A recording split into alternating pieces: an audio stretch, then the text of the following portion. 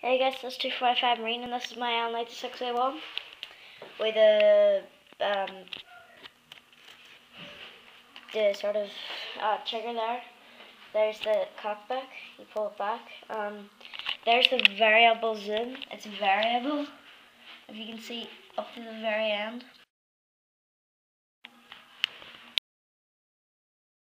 Like this part comes out of the scope.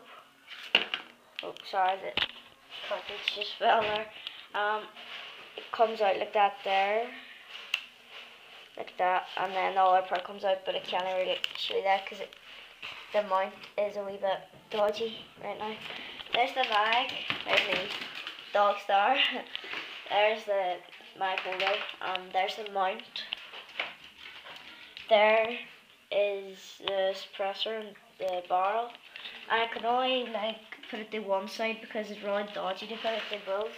There's the sort of grip at the end. So that's my L96A1. Please rate, comment, subscribe. If you want tutorials on it, I'll do tutorials. So um thanks and I'm his friend. Thumbs up. Bye.